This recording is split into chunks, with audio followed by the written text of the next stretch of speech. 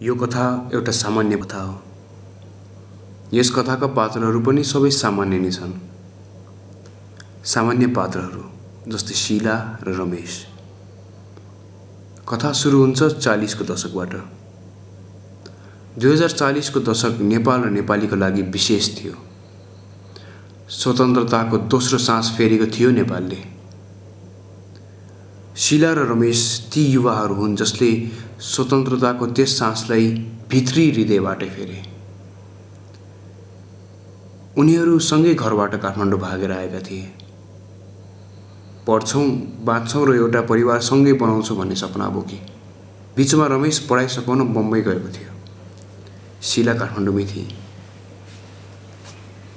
आफ्नो अस्तित्व खोज्ने क्रममा शिलाले त्यो बेलाको स्वतन्त्र काठमाडौँको नयाँ हावा र नयाँ पानीको स्वाद लिँदै थिइन् तर सबै स्वादहरू मिठो पनि थिएन। उनीहरूको विवाह सानो मन्दिरमा सामान्य तवरमा भएको थियो। शिला साह्रै खुसी थिइन्। शिलाको अस्तित्व अब आमाको रूपमा चिनिनेछ। उसले आफ्नै परिवार हुर्काउने छिन् महिनावारी रोकिएको एक महिनापछि शिला डाक्टरले भेट्न जान्छन्। तर डाक्टरले रमेश र शिलालाई साह्रै नमिठो खबर सुनाउँछन् त्यही त्यही एउटी कमला बाई भन्नेको कोठी थियो त्यहीँ बस्ती थियो। पचास रुपियाँ दिन्थ्यो बिचरीलाई अनि मनका कुराहरू पनि सबै खोल्थेँ। मनको तलबल पनि बिसाउँथेँ। तर तिम्रो माया नलाग्ने तिम्रो बारेमा सोच्दै नसोचेको चाहिँ होइन कि। अब तिम्रो माया पनि लाग्थ्यो त्यो बिराट ठाउँमा तिमी आउन पनि नसक्ने। अनि जति तिम्रो सम्झना आयो तिम्रो अनुहारै त्यसको अनुहारमा झल्झलै देख्न थालेँ मैले। अनि झन् माया लाग्दै गयो त्यसको। तर मैले कहिले पनि सोचिनँ अब यस्तो हुन्छ होला यो समस्या हामीलाई पर्छ होला यस्तो होला भनेर त मैले कहिले पनि सोच्दै सोचेन सोच्दै नसोचेको भयो। अब खै के भन्ने अब? त्यसबाट सर्यो कि? तिमीबाट सर्यो खै? त्यस्तो थाहै भएन कि अब। more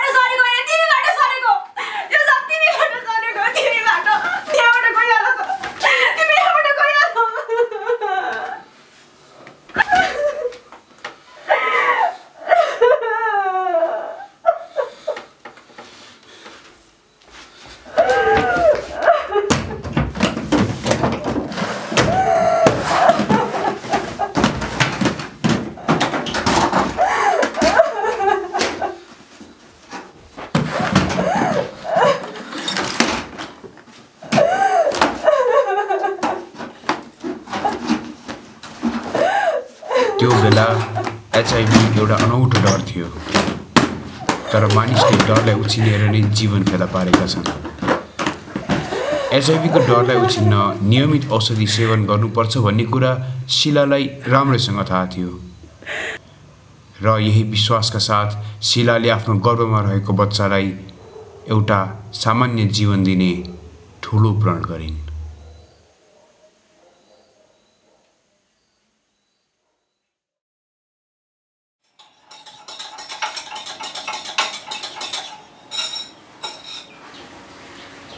त्यो ड्रइङ राख त ल यो औषधि खा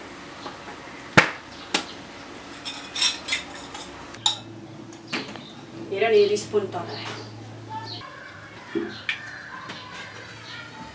मामु म यो औषधि सधैँ किन खानु परिरहेको तिमी औषधि खाएपछि बलियो हुन्छ नि त। मलाई त मिठै लागेन औषधि नि मिठो हुन्छ त। कुनै कुनै त मिठो भइहाल्छ। नि ए पेन्सिल खोइ खाना बनाउँछु त्यसपछि भने खाना खाने। है खाना रेडी। लाग्यो ए अँ मामु के अरे त्यो दराजमा ड्याडीको फोटो हो। हो किन? ड्याडी त क्या ह्यान्डसम अहिले कता भइसक्छ नि ड्याडी हामीलाई छोडेर गइसक्यो। किन? आफ्नो जिम्मेवारी पुरा गर्न नसकेर। अब जिम्मेवारी पनि पुरा गर्न गाह्रो हुन्छ त। खै मलाई त गाह्रो भएको छैन। उसलाई गाह्रो भएर त होला नि हामीलाई छोडेर गएको। म गर्न सक्छु त। त्यो त आफू आफूमा भर पर्छ। तिमीले चाह्यो भने मजाले सक्छौ।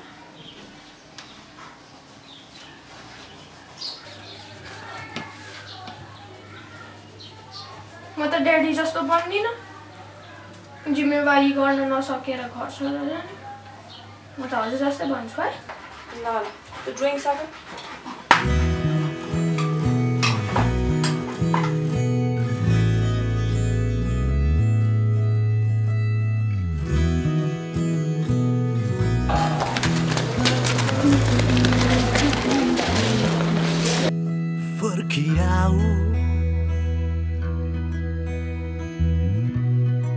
अन्जान मुस्कानले फेरि मलाई सताउन त्यो बोल्ने आँखाहरू छुपाउँदै लैजाउ कतै मलाई नधेरीसँगै बिहानीको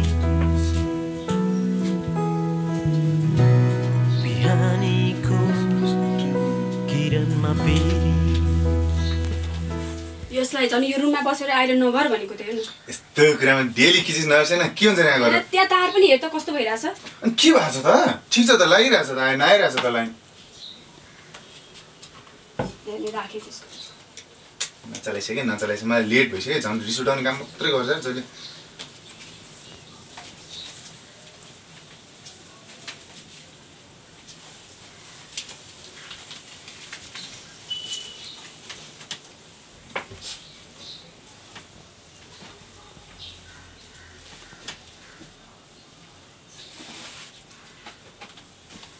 त्यो कार्ड कसलाई त्यो सृष्टिको लागि एकछिन आइरन बन्द गर्छु किन मैले नै बन्द गरेँ आइरन मलाई लेट भइरहेछ भन्दै केही कुराहरू गर्नुपर्ने छ के कार्डको बारेमा हो होइन अरू नै कुनै विषयमा। के भन्छ नि त? मैले तँलाई पहिले नै भन्नुपर्ने थियो कि? भन्छु भन्छु। तर भन्न खोज्छु तर हिम्मतै जुटाउन सकिरहेको छैन। के? भन्नुपर्ने हो? मलाई भन्न नि के हिम्मत चाहिन्छ र हल्दा के हो भन्छ न। हेर तँलाई मैले अहिलेसम्म तेरो बाउले किन छोडेर गयो भन्ने कारण त भनेको छैन नि है। अब पनि भनिनँ भने के अबेला हुनेछ। चाँडो भन्छ नि मलाई लेट भइसक्यो अघिदेखि कति भन्नु? तँलाई एचआइभी छ। एचआइभी? मलाई? मेरो घरबाट नै तँलाई सरेको थियो। र मलाई तेरो बाउले सारेको थियो र तैँले फेरि अरू कसैलाई सार्छस् कि भन्ने मेरो एकदम ठुलो डर हो। तैँले सृष्टि मात्र होइन कि अरू कुनै पनि केटीसँग माया प्रेम के गर्न मिल्दै मिल्दैन। यो कुरा हजुरले मलाई आज आएर भन्ने यस्तो कुरा पहिला भन्न सक्छौँ न बाबु सुन न। म अब एकछिन पनि बस्नु छैन मलाई। म गएँ। बाबु मेरो कुरा त सुन।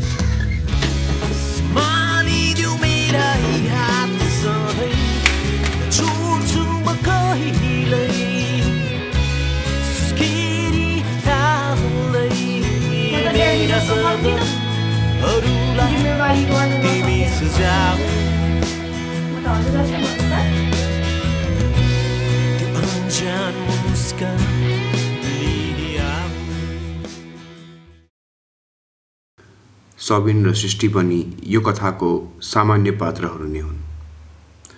उनीहरू साठीका दशकका ती युवाहरू हुन् जसले समस्यालाई गुगल गरेर भए पनि समाधान निकाली छाड्छन्।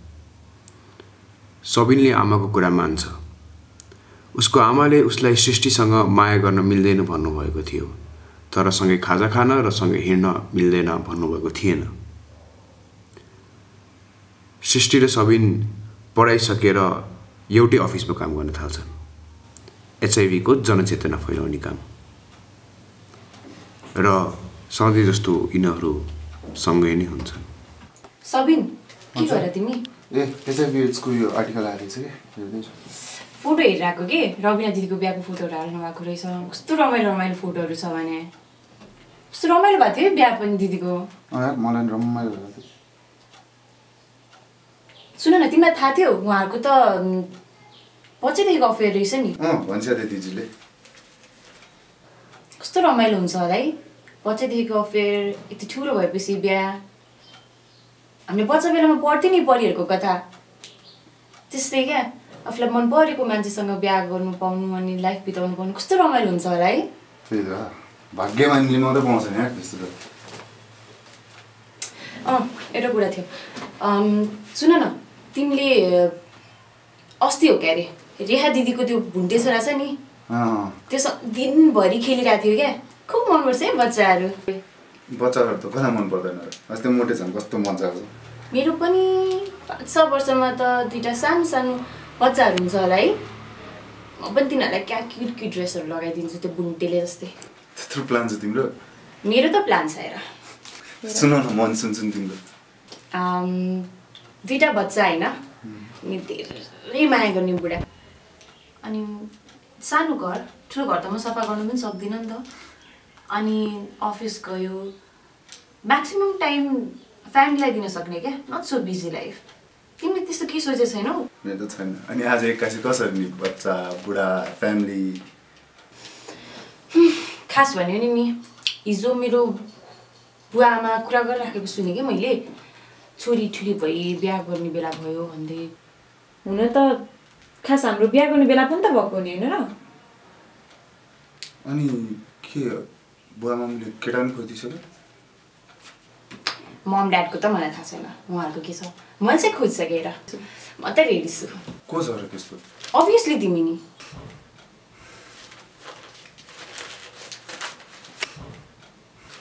सृष्टि यो यो कुरा भन्न सजिलो भएको भए होइन?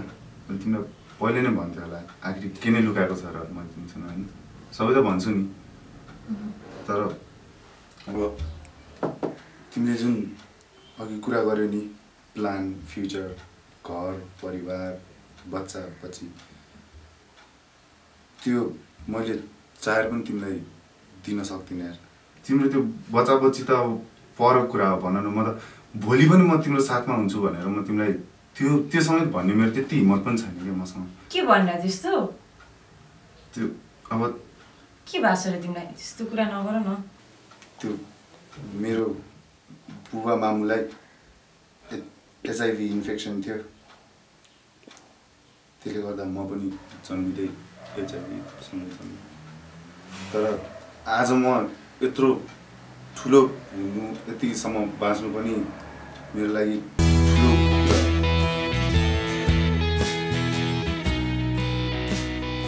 त्यो दिनपछि सृष्टि अफिसमा देखै पर्दिन अनि केही दिनमै सृष्टिको बिहेको कार्ड अफिसमा आइपुग्छ।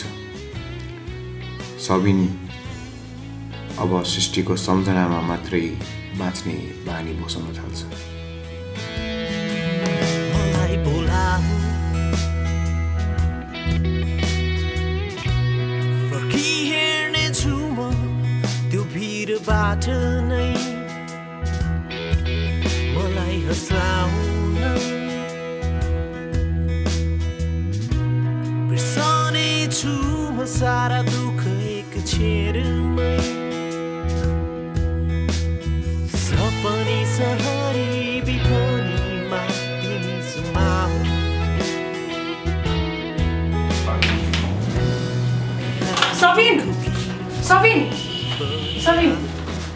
आउन त। कहाँबाट आयो? तिमी के गरेर भन न मलाई यस्तो लुगामा बस न तिमी तिमीलाई आज तिम्रो बिहा होइन थियो बस के। गरेर छ तिमीलाई कुरा भन्छु तिमी कति सोधिदियो पहिला पानी लिएर देऊ न मलाई छिटो अब तिमी यहाँ तिमीलाई कुरा के भन्छ अस्ति हामी छुट्यौँ होइन। अनि मैले धेरै सर्च हाने र मैले यो फेला पारेँ कि। अघि भर्खरै फेला पारेँ मैले। के यो? भनेको चाहिँ भिडियोबाट एचआइभीको जीवाणुलाई हटाउने एउटा मेथड हो कि। अनि यसबाट आमालाई पनि एचआइभी सर्दैन र बच्चामा नि एचआइभी सर्दैन। होइन यस्तो हुन्छ नि। आमा बुवा दुवैजना सङ्क्रमित छ भने चाहिँ सङ्क्रमित नभएको छोरा चाहिँ जन्मनु मिल्छ छोराछोरीहरू होइन तर यो चाहिँ या, चाहिँ एचआइभी इन्फेक्टेड तिमी छौ नि र म एचआइभी इन्फेक्टेड छैन नि यस्तो केस यस्तो कपलहरूको लागि रहेछ कि र तिम्रो मेरो प्रब्लम के हो भन न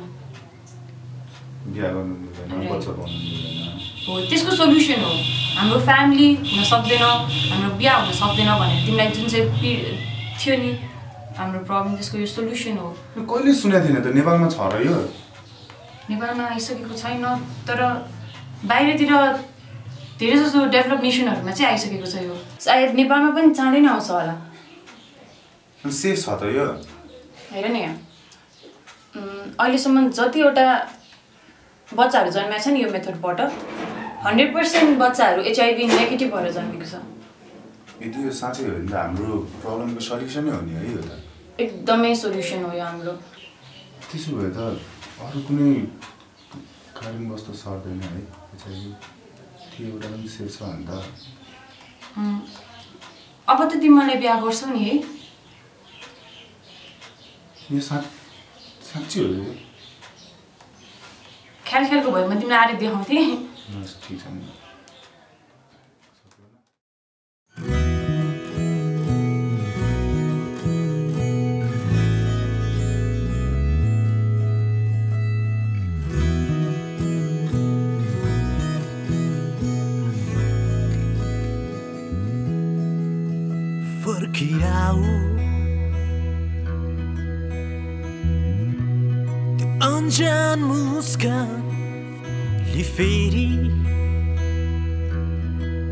मलाई सताउन। त्यो बोल्ने आँखाहरू छुपाउँदै लैजाऊ कतै मलाई अधेरीसँगै बिहानीको